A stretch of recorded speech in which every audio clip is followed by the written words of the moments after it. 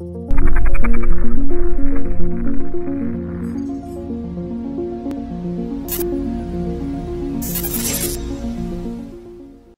večer, já vás všechny vítám. Jsem rád, že můžu se podělit s vámi o to, jakým způsobem se pokoušíme na Ústavu patologické fyziologie i na Ústavu lékařské biofyziky eh, měřit zrakové vnímání. K tomu celému bych ještě poznamenal, že původně tato aktivita byla míněna jako eh, volné, volné měření zájemců o tuto oblast a my teď díky té koronavirové eh, překážce v nějakých kontaktech, tak jsme se rozhodli ji nahradit touhle přednáškou. Takže se pokusím během té přednášky pár zajímavých experimentů s vámi provést také, tak doufám, že eh, budete dost odvážní a provedete si je, stanete třeba od počítače a zkusíte eh, si některé věci vyzkoušet sami na sobě. Eh, celkově ten, ta přednáška bude probíhat v PowerPointu, který já vám teďka nazdílím. Tak, Eh, doufám, že vidíte eh, první snímek prezentace, eh, na kterém vlastně je představení pracoviště a tak to už jsem udělal, nebo moderátor udělal. Chtěl bych říct, že prezentaci můžete používat, pokud si něco z ní vezmete nebo využijete pod licencí Creative Commons, takže byste měli vždy uvádět i autora třeba. Tak eh, první, co je, eh, co bych chtěl vysvětlit, jak vlastně může vzniknout zrakové vědomí. Existuje jakási fyziologická teorie vidění. Je to vidění nižšího a vyššího řádu, ve kterém se postupuje od fyzikálního až po nějaké mentální procesy. Eh, dalo by se tohle schéma udělat velmi pestře a barevně. Třeba když si tady představíte pod prostředím mraky, přes které probíhají sluneční paprsky a proudy fotonů dopadají na naše oko, kde se vybírají některé se správnou orientací, dopadají na sítnici, kde eh, kreslí poměrně jasný a přesný obraz v interakci potom s receptory na sítnici, což jsou tyčinky, čípky, Eh, vytváří eh, nějaké vzruchy, které se přináší v senzorických drahách a vytváří v mozku smyslové počitky. Ten počitek to je nejjednodušší forma toho zrakového věmu, nebo může to být i samozřejmě věm třeba uh, chutě nebo doteku, senzorický věm, uh, somatosenzorický. Každopádně zrakový počitek je hodně jednoduchá forma. Možná, že sami byste na ně přišli, které to můžou být, já vyjmenuju třeba, co vidím tady kolem sebe, tak se dívám na stůl, je červený, tak červená. Teď vidím hrana, je ostrá, rovná, takže uh, jsou to tvary. Uh, potom hýbu tady rukou, ta se míhá, takže je to pohyb. Uh, nějaká část mé zrakové scény je tmavší na světlejší, takže je to jas. To jsou smyslové počitky. Když je skombinujeme s nějakými kognitivními procesy, které se vytváří eh, za našeho života, anebo se vytvořily eh, za života našich předchůdců a my jsme dostali vlastně v prostřednictvím eh, dědičné informace, vytvoříme nějaké věmy a ty věmy nám říkají třeba, že vidím tedy počítač, na něm je prezentace, rád bych viděl také vás, ale bohužel tady uh, vidím jenom počítač, takže si ty obličeje jenom uh, přemýšlím. A uh, toto vědomí tedy obsahuje, nebo vědomí má přístup k smyslovým počitkům a věmům, protože já, když chci, tak si řeknu, co vidím tady, aha, to je konektor k počítači, má černou barvu, takže jsem schopný rozeznávat počitky věmy. Já bych teďka na příkladu toho nejjednoduššího počitku, kterým je jas, to je množství uh, fotonů, které dopadají na nějaké místo na sítnici a interagují tam s receptory, tak na základě toho, jak vnímáme jas bych vám chtěl ukázat, že tato fyziologická hypotéza není až tak přímočará. Zde vidíme znovu iluzi, kterou eh, on eh, dokázal bravurně stvárnit nejenom graficky, ale hlavně domyslet a skvěle naaranžovat.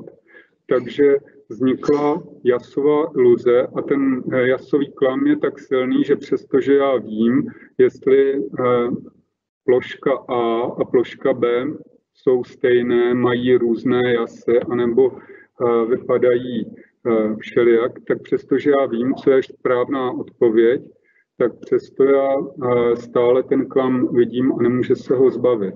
Možná, že potom, co vám ukážu odpověď na otázku, který z ploš, která z plošek A nebo B je tmavší, takže potom taky ten paradox vlastně uvidíte.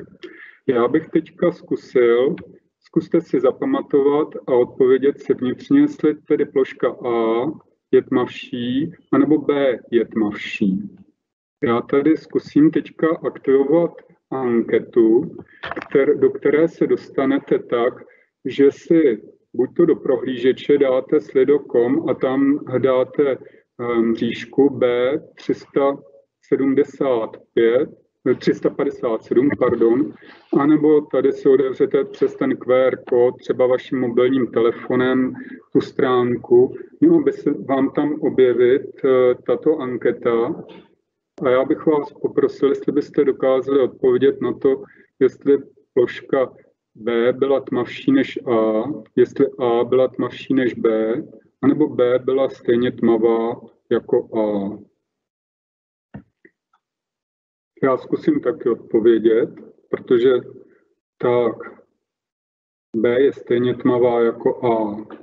To je kvalifikovaný odhad. Vidíte tam taky, jak odpovídají. Já zkusím to, co se mi zdálo.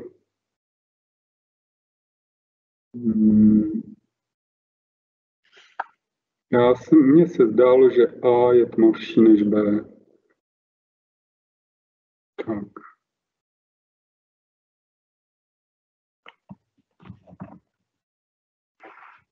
Tak, máme tady pět odpovědí zatím a je to půl na půl. No, já bych řekl, že eh, ty, ti, kdo říkají, že B je stejně tmavá jako A, tak mají pravdu.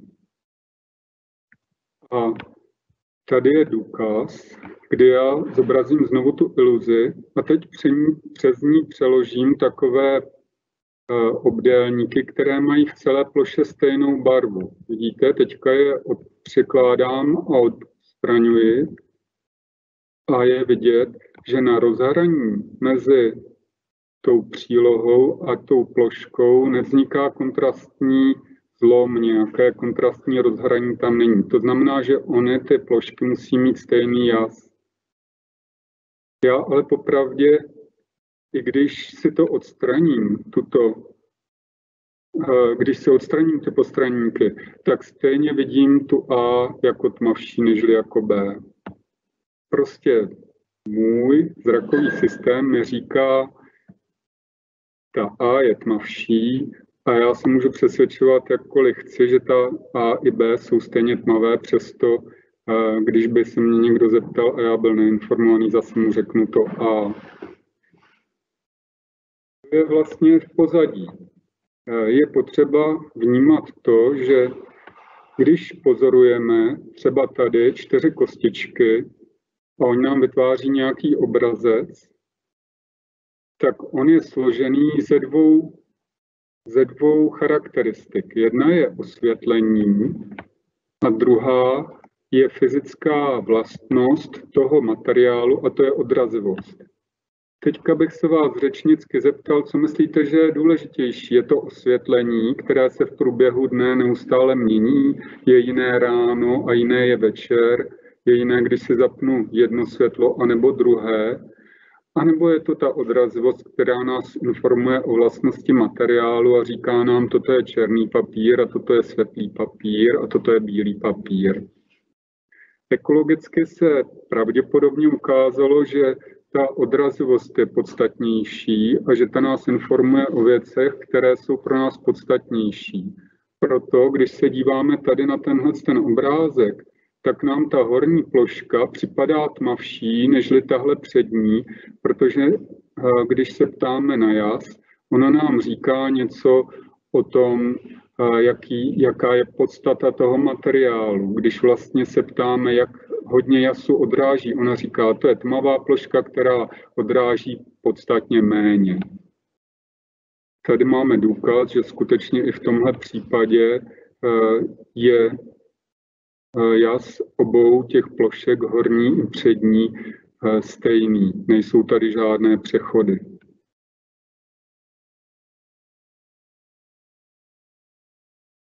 Stejně jako zachází s osvětlením náš zrakový mozek, dokáže si poradit i s transparencí. A jestli vidíme stín anebo světlo v oblacích, tak to můžeme vidět i vlastnosti předmětů přes třeba nějakou mlhu nebo záclonu, nebo něco, co nám částečně zatemní ten obrázek. A mozek to dokáže také odfiltrovat a informuje nás, co je v pozadí.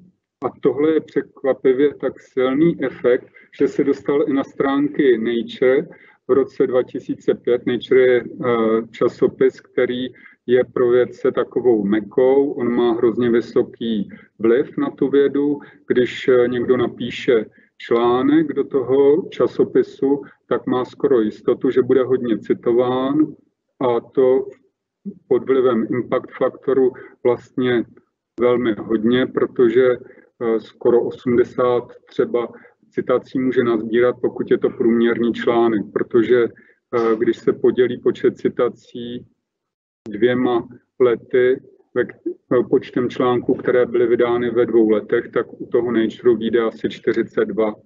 Takže tohle je právě jeden prestižní časopis a vidíte, on otiskl zrakovou iluzi.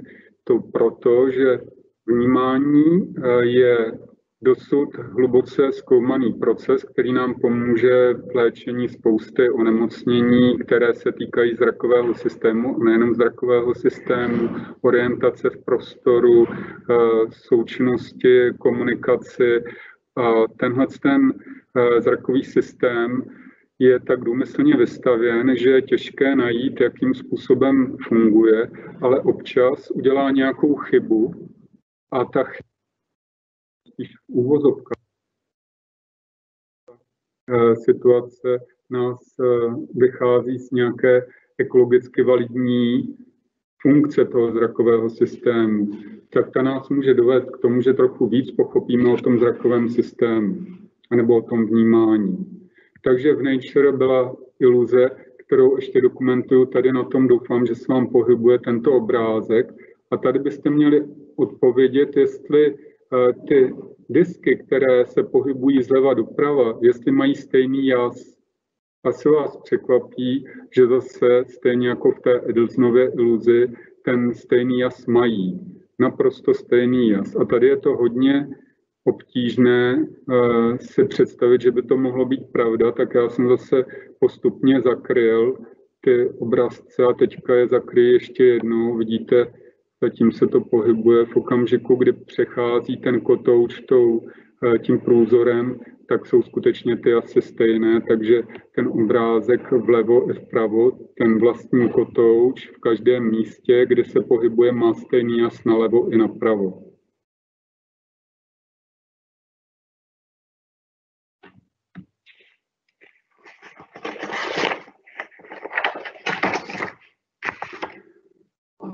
Teďka se obloukem nebo vrátíme k tomu schématu té uh, fyziologické teorie vidění. A tady všechny ty věci, které jsme si říkali, jsou bez pochyby pravda, ale je také pravda, že když vytváříme ty smyslové počitky, tak už nemáme přístup k těm informacím, které jsou jakoby fyzikálně přímo svázané s tím prostředím, ale jsou modifikované tou naší zkušeností tím, že známe ty materiály, známe, jak vypadá záclona, mlha nebo uh, něco takového.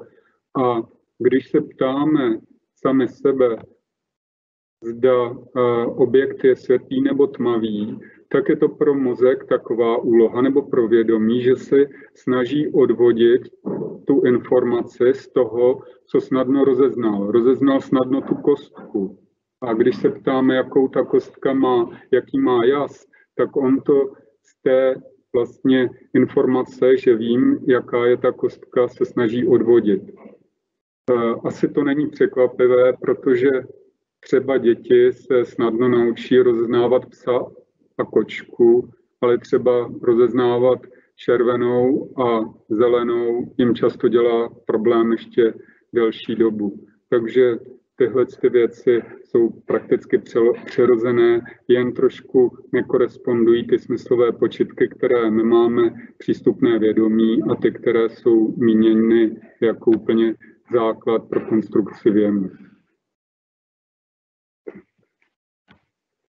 Tohle samozřejmě vyvolává otázky ohledně toho, jakým způsobem ten mozek eh, ty informace zpracovává. Viděli jsme nějaké schéma, ale eh, jak to funguje doopravdy, jak to funguje na, v té své podstatě.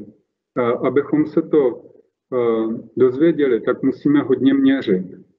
Ta situace je opravdu velmi komplexní, protože kterou mozek musí zpracovávat, protože když si uvědomíte, že čistě optická část způsobí, že to, co je na zrakové scéně dole, se vám eh, objeví nahoře, to, co je vlevo vpravo, že obraz se vám promítá na zatočenou sítnici, takže eh, ta sítnice, ta eh, zobrazuje všechny rovné čáry, které my vidíme jako zakřivené.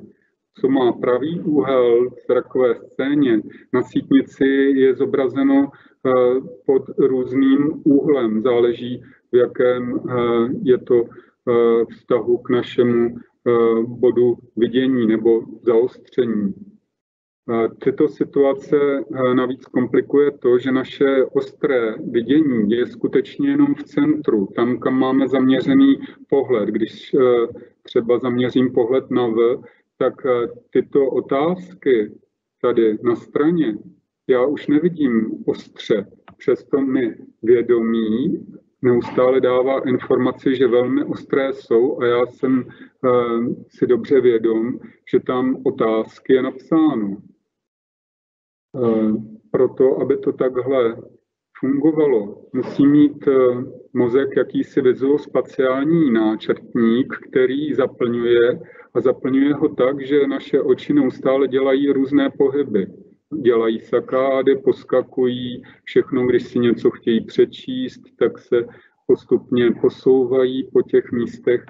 A to je další věc, která je eh, velmi komplikovaná. Když si uvědomíte, že ta scéna není jako fotoaparát, nebo ta sítnice se neprojikuje stejně jako u fotoaparátu na jeden fixní pixel, jeden fixní pixel, že odpovídá nějakému bodu v té scéně. On se neustále pohybuje, to oko, takže eh, jednomu bodu na vizuální scéně odpovídají neustále různé body na té sítnici. Takže je tam potřeba eh, tvořit korespondenci mezi očním pohybem, periferií a tím, co vidíme. A co víc, když pohneme očima, tak se nám zdá, že se ta scéna vůbec nemění, i když na sítnici se velmi pohne a běží tam rychleji nežli uh, Formule 1 pomalu. Takže tohle je velká otázka. Dva pánové, kteří položili základy tomu, jak dobře na tu otázku odpovědět, byli nobelisté David Hubel a Thorsten Wiesel, kteří zkoumali kočičí mozek.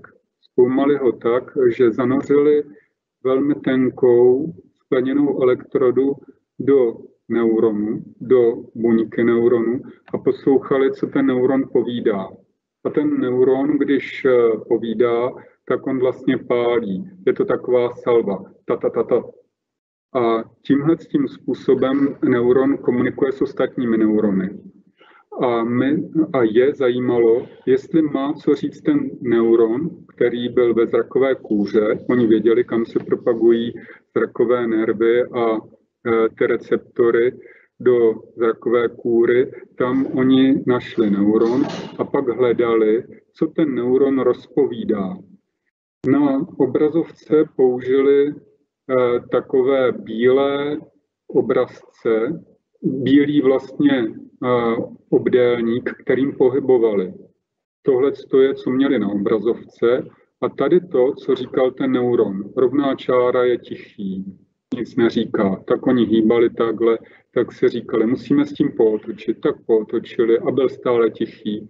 Tak ještě pootočili, zase byl tichý, ubíhaly minuty, říkali si, jestli to nemáme vzdát, ten neuron asi vůbec nebude reagovat, ale pak otočili a najednou, když pohybovali zleva doprava, ten eh, neuron tr začal pálit. V tomhle okamžiku jsme věděli, že máme neuron, který má orientační i směrovou specificitu. V jiných orientacích nereagoval, reagoval pouze na tento směr a pouze při pohybu zleva doprava. Když byla ta pozice opačná, tak byl tichý, což vidíme tady. Tady tohle povídání, to jsou takzvané akční potenciály a ten neuron je vydává, když dostane dostatek eh, informací o tom, že by měl vydat nějaké rozhodnutí, tak ho vydá a rozšíří ho dál. A šíří ho prostřednictvím těch akčních potenciálů. základě zevrubného zkoumání, tady se nalekněte, těch eh, věcí je víc, ale já vám je pěkně vysvětlím. Na základě zevrubného snímání skleněnými elektrodami v různých částech mozku, ne toliko u lidí, ale hlavně u makaků a u koček, se zjistilo, že ty eh, neurony podél té zrakové dráhy mají eh, zajímavé, specifické a hierarchické uspořádání. Oni, eh, nebo oni, ty neurony, se projikují z té sítnice přes nějaká přepojovací místa uvnitř mozku do primární zrakové kůry. O tamtuť se vydávají převážně dvěmi směry. To je vlastně taková finta toho mozku, jak zvládnout zpracovávat co nejvíc informace najednou. Dělá to paralelně. To znamená, není to tak, že by eh, posílal jeden za druhým tu informaci, ale dělá to paralelně. Eh, je to, jsou to milion vláken, které vede v tom zrakovém nervu eh, spoustu informací těch talameckých jader, tam to potom to putuje do té zrakové kůry.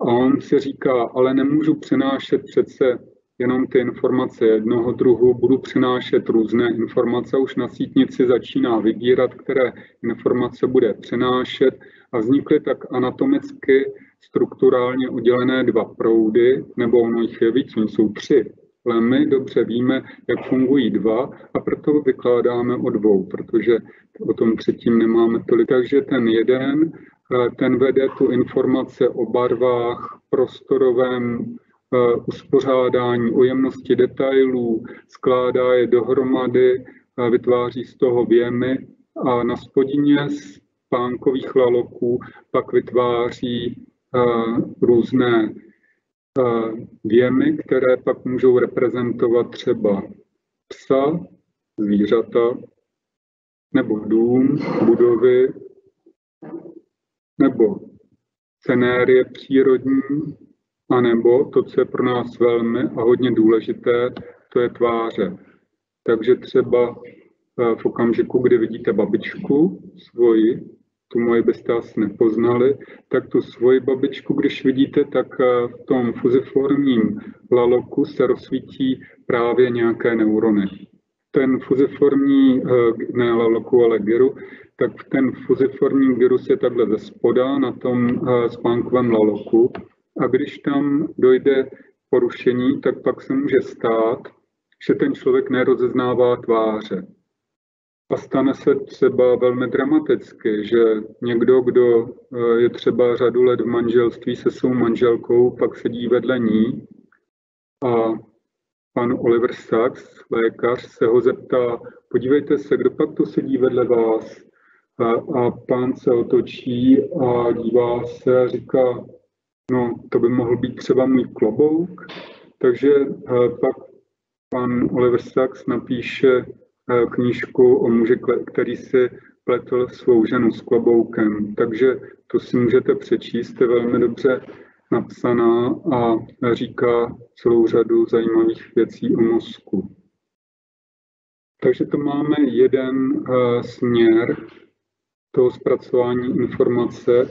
Druhý směr, který jde tady nahoru do toho, uh, toho týlního laloku, ten zpracovává informace z tak velkých buněk na té sítnici, magno, magnocelulární buňky, eh, které to vedou eh, potom do eh, té oblasti temení a ten se specializuje hlavně na pohyb a na to, co se v prostoru, kde se to v prostoru děje. A ten nám právě pomáhá třeba určit, kam se máme podívat, kde se stalo něco zajímavého, kde máme aktualizovat ten náš zrakově prostorový náčrtník.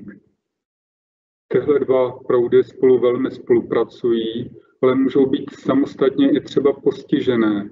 E, třeba tady, když dojde k postižení, tak vznikne nemoc, která je relativně vzácná, ale ten člověk přestane vnímat pohyb. Vidí ty věci jako sekvenci Eh, statických obrázků. A protože eh, v řadě situací mozek potřebuje informaci o tom, jak ten pohyb eh, se vyvíjí, aby dokázal odhadnout, predikovat, kde se, co se stane za chvíli, tak takový člověk, který má kinetopsii, tak pak si třeba není schopný nalít konvičku s vodou, protože když nalívá, tak ta hladina poskakuje a on neví, kdy zase skočí jak a v době, kdy se mu neaktualizuje ta informace, tak třeba přeleje nebo stojí na přechodu pro chodce a neví, eh, jestli může přejít cestu, protože auta neustále chaoticky poskakují po tom chodníku. Takže taková situace může klidně nastat.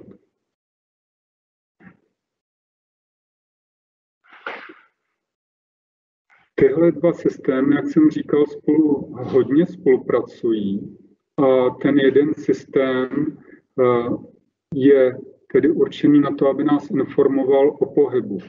Ale když hýbeme očima, tak on by neměl říkat, pozor, něco se hýbe. Je to vlastně eh, chyba, by to byla. A mohli bychom z toho mít třeba nějaké závratě nebo něco takového. Takže ten systém je v průběhu našich pohybů očních vypnut a nedochází k té potřebné aktualizaci toho zrakové prostorového náčrtníku. A na to já mám experiment, který si společně vyzkoušíme. Takže tady já pustím, aha, já tu mám ještě jeden experiment. Hmm. Tak tomu se když tak vrátím později. Já pustím tenhle experiment, který nám bude ukazovat, jak eh, spolu ty dva systémy spolupracují, anebo jak spolu nespolupracují. Budu tady mít obrázek eh, takových bambulí zelených, ty doufám vidíte, a tady je červená tečka. Já pustím tu prezentaci a teďka ta červená tečka občas jde zleva doprava. Vaším úkolem se bude naučit sledovat tu červenou tečku očima co nejlépe takže mám na ní upřený pohled a pohybuji zleva doprava, když ona jede zleva doprava, teď, zprava, teď zleva doprava, teď zprava doleva. A protože my máme možnost toho periferního vidění, tak bez toho, abych eh, opustil očima ten červený bod, tak se zkuste zjistit, co dělají ty zelené bambule, když jste očima na tom fixačním bodu. Pokud to děláte jako já, tak by se vám mělo zdát, že v okamžiku, kdy, te, kdy ten červený fixační bod stojí, tak ty bambule se nafukují a splaskávají. Když ale pohybuju očima, tak ty bambule v tom pohybu ustanou. A to je právě proto, že ten zrakový věm je zpracováván tak složitě, ty pomalé sledovací pohyby jsou hodně náročné a to udržet pohled na tom fixačním bodu tím plynulým pohybem je náročné, takže mozek neaktualizuje ten vizuospaciální náčrtník dobře a zdá se nám, že se zastaví ten pohyb v té periferii. Takže doufám, že ten experiment u vás dobře proběhl a že vidíte to, co já. Je možné, že se vám to třeba tak nestane. Tak mám pro vás ještě jeden experiment, ve kterém, eh, který vám vysvětlím v průběhu takového hlasování nebo hlasování, takové malé ankety, kterou jsem si zase připravil. Mě by zajímalo, jestli jste ještě na té stránce, eh, kde jsme začínali tu anketu o tom, jestli ploška A je tmavější než B, tak by mě zajímalo, proč jste se přišli podívat na tuhle tu přednášku. Můžete napsat cokoliv, co chcete, tady na tomhle tom uh, místě sledokom. Můžete napsat, že to je právě student, třeba přijel, má studijní zájem tady, nebo že to je amatér, nebo že to je profesionál, lékař, že ho to zajímá, anebo čistě chce vidět, jak bude vypadat kremláček v televizi. Tak. Takže jestli vás můžu poprosit, zkuste eh, napsat eh, třeba, co je eh, zájmem vaším, proč se díváte tady na tuhle prezentaci. A já vám mezi tím vysvětlím experiment, který si můžete udělat na to, abyste viděli, jakým způsobem interaguje interagují pomalé sledující, jakým způsobem interagují sledující pohyby, okohybné pohyby s tím naším vědomím. Takže experiment se udělá tak. Budete potřebovat pravděpodobně nějakého pomocníka. Lepší je to ve dvou, nebo uh, i když v jednom se to dá také, ale lepší je to ve dvou. Je to dobrý experiment pro dva. Ale potřebujete zrcátko. Zrcátko. Vezmete si zrcátko, já tady můžu použít černé zrcadlo, mám tady mobil, to je vlastně černé zrcadlo. Mobil je černé zrcadlo, tam vtiskujeme tu naši duši do toho černého zrcadla, ale lepší je zrcátko normální. A dáte si ho před sebe, a protože každý když se dívá na svůj obraz, tak nedokáže se dívat paralelně, nebo pokud dokáže, tak jen málo kdo dokáže se dívat současně eh, do obou očí. Takže se budete dívat do levého nebo do pravého oka. A tak zkuste, eh, zkuste cíleně přepínat ten váš eh, zrakový věm nebo ten, ten svůj zrakový pohled zleva doprava, cyklicky, a po chvíli zjistíte, že přestože hýbete očima a měli by poskakovat zleva doprava, tak vám se oči vůbec nehýbou. Jak je to možné? Tak teď je výhoda, pokud tam máte ještě kamaráda, kdo se s vámi dívá, přítele, přítelkyni, a řeknete to nahlas, to svoje Eh, pozorování. Hýbu očima zleva doprava, ale můj, eh, moje oči se nemění, nepohybují. A ten, kdo sedí vedle vás, řekne, ale já to vidím a pohybují se ti. A vy, vy řeknete, fakt nepohybují, zkus to ty a zkusí to ten tvůj, kam, ten váš kamarád a stane se právě to opačné on nebude vidět ty svoje pokohybné pohyby a vy budete vidět. A to bude důkaz toho, že právě během očních pohybů je to vnímání zastavené. Tak já doufám, že se vám to daří nějakým způsobem se navodit tuto, tuto záležitost. Já ještě počkám chviličku, jdu se napít, zapomněl jsem se vzít pití a vy můžete psát a zkoušet si Eh, zkoušet si eh, ten eh, oční experiment. Já vám ještě, když jsme v tom experimentování, řeknu jeden zajímavý takový pěkný experiment, kterým si ukážeme, jak je to s tou projekcí v té zrakové dráze. Ten experiment je velmi jednoduchý. Vy byste měli mechanicky lze podráždit Eh, sítnici, nebojte se toho, je to nebolestivé a neinvazivní, ne, nijak vás to nepoškodí. Vy, když se podíváte, zaměříte ten svůj pohled k nosu, eh, točíte oko, abyste se dívali k nosu, zavřete ho a jemně se v koutku zatlačíte na oko, tak byste měli vidět takzvanou fosfénu, což je takové, taková světlá korona. A ta světlá korona se neobjeví v místě, kde si mačkáte to oko, jenom lehce si ho zmáčkněte. Ale objeví se u nosu. To proto, že ta projekce je taková, že z pravé části zorného pole se každému projikuje ta, to světlo na levou hemeretu, na levou část sítnice. A tu levou část sítnice si podráždíme tím zmáčknutím a tím vlastně aktivujeme tu část mozku, která je reprezentovaná v tom pravém eh, zorném poli. Takže to je taky moc hezký experiment.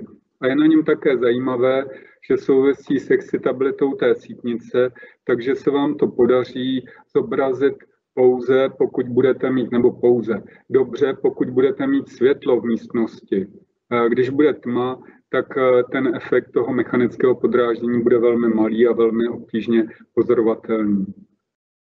Tak já děkuji všem, kteří se zúčastnili tady tohle z toho, eh, téhle z té ankety drobné, tak eh, vidím, že je ten studijní zájem. Já doufám, že to není příliš bazální pro vás. A pojďme dál a hledat ty odpovědi, jak bychom je našli v té hlavě protože my nemůžeme používat ty skleněné elektrody, když měříme lidi. A chtěli jsme dneska měřit lidi. A skleněné elektrody nemáme, ani jsme je nechtěli používat. My jsme chtěli použít takzvané zrakové evokované potenciály. A co to je ten zrakový evokovaný potenciál, se dozvíte tady na tom obrázku. Je to aktivita elektrická, která se projikuje na skal. A abychom ten evokovaný potenciál vybavili, prezentujeme tomu pozorovateli takovouhle šachovnici, která přeskakuje z černé na bílou a vytváří tak systematickou odpověď v té okcipitální nebo v té eh, týlní části hlavy. Tam máme aktivní elektrodu, měříme proti té části eh, frontální a tady se nám zobrazuje průběh napětí v čase. Obyčejně jsou to takovéhle vlnky.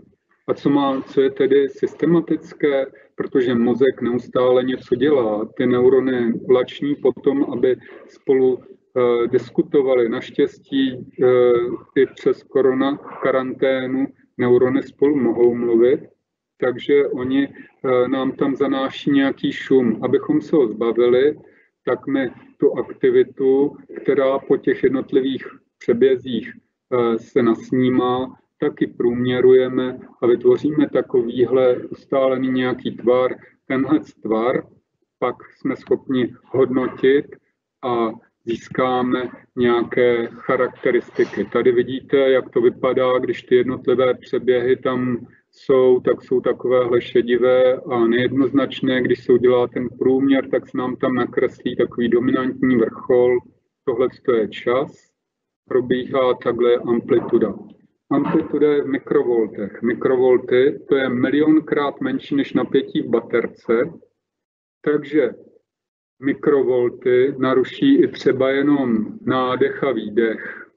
Ty jsou hrozně drobné. Elektromagnetické pole kolem nás, které je neustále, tak s nimi interaguje a různě je ruší. Proto je snímání tady těchto těch potenciálů relativně náročné. Je to malý efekt proto se většinou dělá v laboratoři, ale my teďka činíme různé pokusy pro to, abychom eh, to vynesli právě i mimo laboratoř, tohle vyšetření.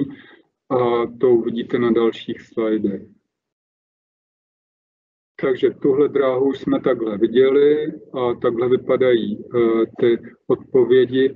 Tohle je odpověď ve zdraví a tady to je po úrazu zrakového nervu, bylo to u 57-leté ženy, ta odpověď pak je s malou amplitudou a ten vrcholový čas je hodně prodloužený. Všimněte si, tohle jsou milisekundy, takže zhruba 200 milisekund nebo u té šachovnice 100 milisekund po tom, co se něco stane, tak mozek už v zadní části o tom má dobrou informaci. Já bych řekl takovou zajímavost, když uděláme stimulaci, která vypadá změna šachovnice, takhle, tak ta odpověď vypadá tímto stylem. Ten charakter je negativně, pozitivně negativní komplex. Když uděláme se stejnou strukturou tu změnu z počáteční do finální tímto způsobem, tak ovšem získáme úplně jinakší odpověď. Postrádáme tady ty pozitivní vrcholy, tady velká negativita. Eh, to, proč eh, se vlastně vyrábí různá odpověď eh, velmi podobnými podněty, byste si už možná zodpověděli sami, protože jsme viděli ty dva proudy, ten, který určuje to, kde se co děje, ten co, what stream, a to, kde se to děje, where, ten, který má ten pohyb. A tenhle ten, tato reakce právě z toho spíš z té temenní oblasti, která zpracovává ten pohyb, informuje nás o tom, kde se co děje. A tuhle oblast zpracovává skupina na Ústavu patologické fyziologie. Já vám představím některé z nich. Tady tohle je paní, paní eh, sekretářka Kořínková, která naše asistentka, která nám pomáhá, paní doktorka Langrová, ta snímá eh, nebo hledá to, jakým způsobem se tahle komponenta chová u mužů, u žen, u mladých, u starých, eh, normativní studie dělá, paní doktorka Sáne, ta zase zkoumá, jestli tenhle ten vrchol nemůže být nebo může být eh, kvalitním diagnostickým markerem třeba onemocnění u neuroboradiózy. Profesorka Kubová ta zkoumá neurodegenerativní nebo eh, vývojové choroby, jako třeba dyslexie nebo Alzheimerova choroba. Profesor Kuba ten se podílí hodně na metodických výzkumech, které ho zajímají právě s inženýrem Vítem a spolu se mnou vyvíjíme takový přístroj, který vám za chvíli ukážu, proto abychom se dostali mimo tu laboratoř s tím vyšetřením.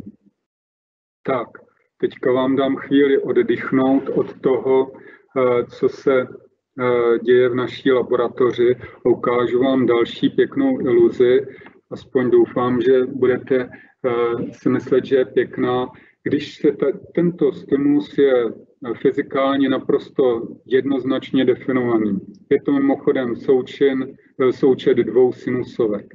Když budete fixovat tady nahoru, budete váš pohled do horní části obrazovky, tak byste měli mít pocit, že pod vaším pohledem ubíhají ty objekty, třeba pecky, směrem zprava doleva.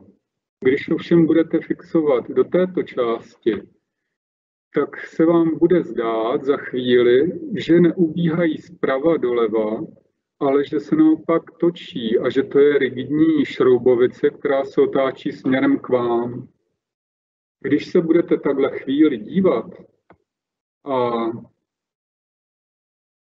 v nějakém okamžiku se stane, že se vám uh, změní ten směr otáčení. Ta reverzace nastane naprosto náhodou a může zase skočit zpátky. Takže to máme vlastně u jednoho fyzikálního podnětu, už máme tři věmy. Jeden šroubovice točí se doprava, druhý směrem k vám nebo doleva, třetí pohybují se pecky doprava doleva. A teď vám řeknu ještě další. Ono to nemusí být vlastně jenom fixní šroubovice, rigidní, ale představte si, že je to pružný, pružná stuha, která vlní okrajem, okraje, okrajemi nahoru a dolů Prostřed je pevná a její okraje se vlní stejně jako ploutve potápěče. A to zase se může dít v různém uh, směru. Buď to jsou ty uh, na jedné straně ty vlnky blíž u vás, anebo stejná vlnka může být dál od vás. Tento nejednoznačný podnět vytváří v mozku různé věmy, díky tomu, že vlastně eh, ten mozek neustále se snaží konstruovat co nejpravděpodobnější věm pro to, co pozoruje. Je zajímavé a evolučně to má smysl, že přestože víte, že to může mít třeba až těch pět těch věmů, takže současně můžete vidět pouze jeden. Vždycky v mozku je přítomný jenom jeden. Pokud eh, jsou tam, pokud eh, zmizí, se objeví nový, ten eh, starý zmizí. Další zajímavost tady na tom objektu je, že máme tu ten prostorový objekt třeba, tu šroubovici, anebo tu vlnící se stuhu konstruovanou z bodů, které nemají vůbec žádnou prostorovou informaci, ale jenom tím pohybem, jeho amplitudou vyvolávají eh, nějaké charakteristiky, které dobře odpovídají předmětu, který známe z naší denní, našeho denního života. Tak, takže tady se projevilo také několik věcí. A teďka, jaké jsou ty odpovědi, jak, jak je měříme. Já si tady doká, eh, ty evokované potenciály, já si tady dovolím vám pustit video, které koukám, se nepustíme, služba selhala, to nevadí, já to nebudu pouštět, já vám řeknu, že si můžete, já to dám tady do toho uh, chatu a vy si to můžete přehrát sami, protože já mám obavu, že stejně už nemám moc času. Takže já zkusím dát tady do chatu ten odkaz na to video na YouTube.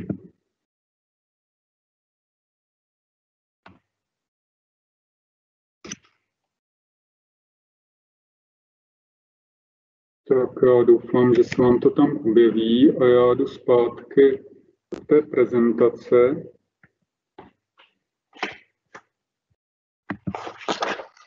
Jestli teďka mě bude poslouchat. A ukážu vám, eh, kromě evokovaných potenciálů, kam jsme se posunuli, protože v tom videu eh, uvidíte, jak probíhá standardní vyšetření těch evokovaných potenciálů s přeložením elektrod a s různými věcmi ohledně měření zrakové ostrosti, měření těch evokovaných potenciálů. Ty evokované potenciály potom doplňujeme řadou vyšetření, jako je právě měření třeba citlivosti ke kontrastu, což považuji za hodně dobré vyšetření, protože stejně jako u audiometrie se také měří hladina, na které slyšíte nějakou frekvenci.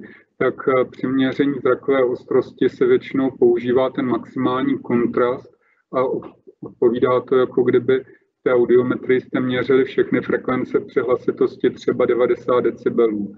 A proto je dobré vyšetřovat eh, tu citlivost na kontrast, co děláme. Taky měříme eh, refraktometrem a perimetrem zorné pole když k nám přijdete na to vyšetření v rámci třeba nějaké kontrolní studie, tak všechny tyhle ty věci vám naměříme.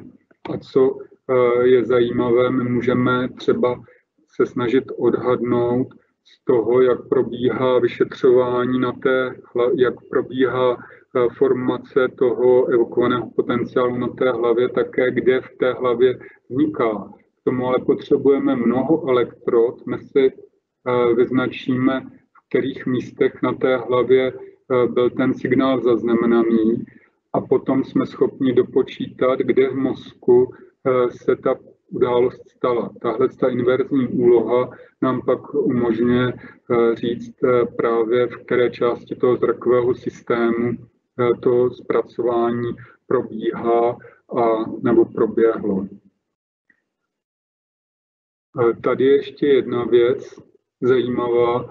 Eh, tenhle přístroj a tohle, co drží tady paní doktorka Langrová, tak to je stimulační cívka magnetické stimulace, která umožňuje eh, přerušit zpracování v hlavě a vytvořit takzvanou virtuální dočasnou malou lézi a pozdržet anebo pokazit to zpracování té zrakové informace v rámci toho procesu.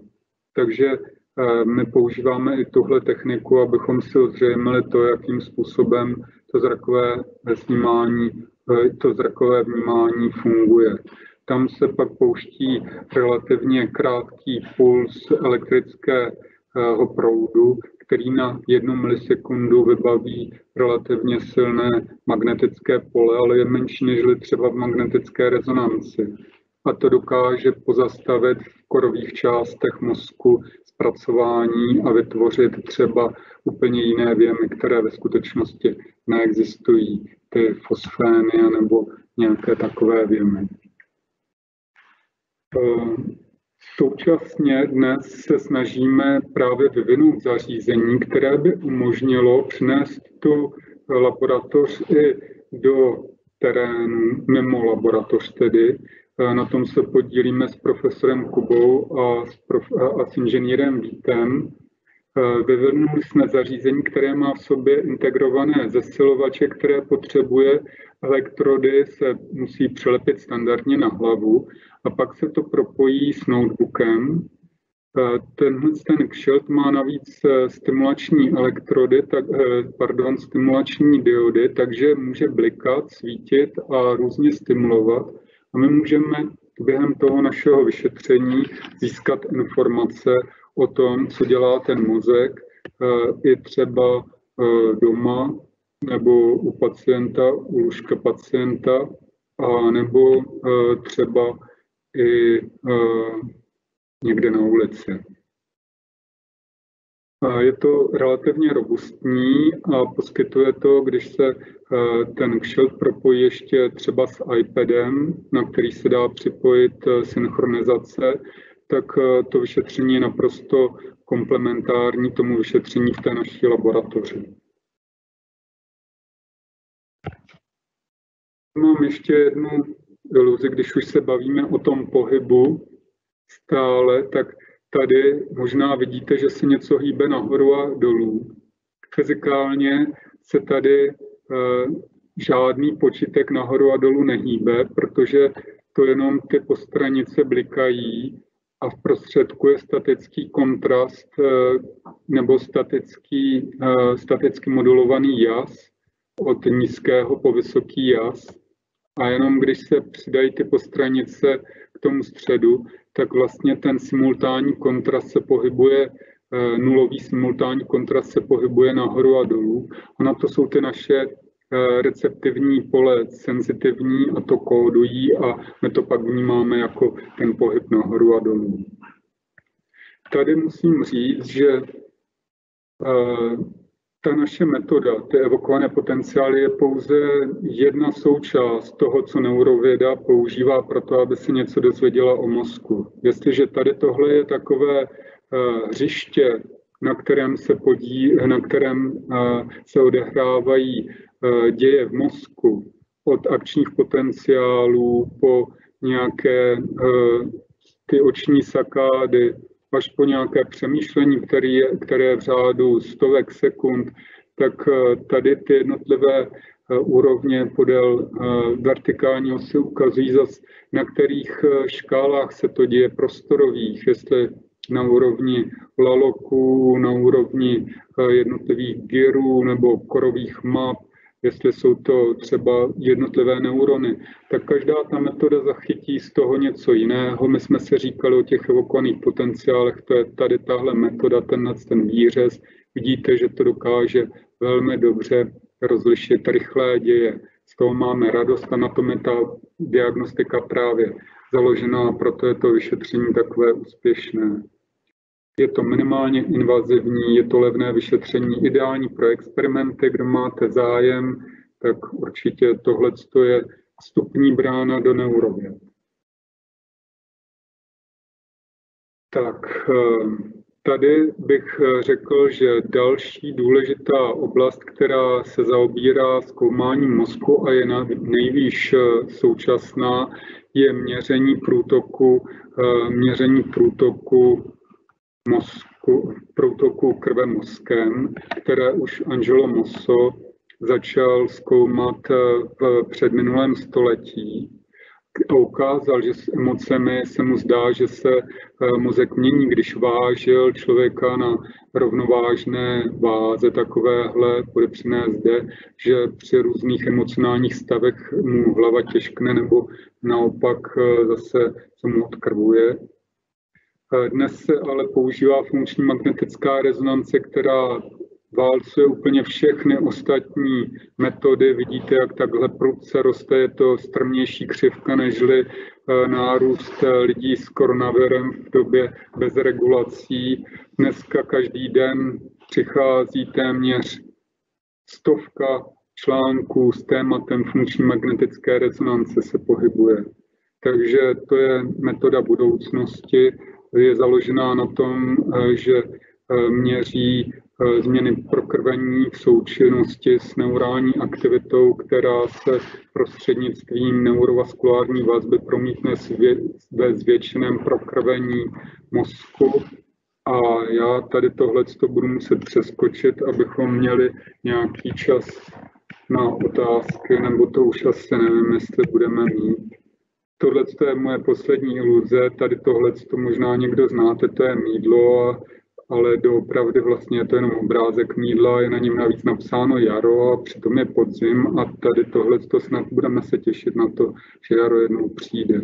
Tak já vám děkuji za pozornost a e, když byste měli chuť, tak mi můžete e, napsat na to sledu, jak se vám líbila přednáška. Tak, e, tak děkuji za pozornost.